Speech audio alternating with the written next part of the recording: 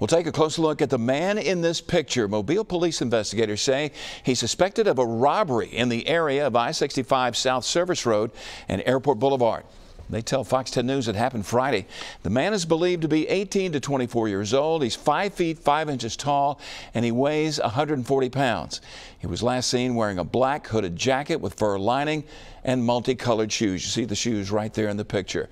If you recognize this guy, call Mobile Police.